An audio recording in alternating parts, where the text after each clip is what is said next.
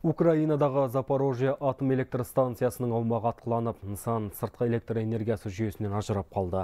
Бұл туралы осы елдің энергоатом компаниясы хабарлады. Апаттың салдарынан станция электр энергиясын резервтегі дизельді генераторлардан алуға көшкен. Киев қазіргідей жағдайда дизельді отын қоры 10 күнге ғана жететінін айтады. Ресей күштері бұл атом электр станциясын наурыз айында басып алған.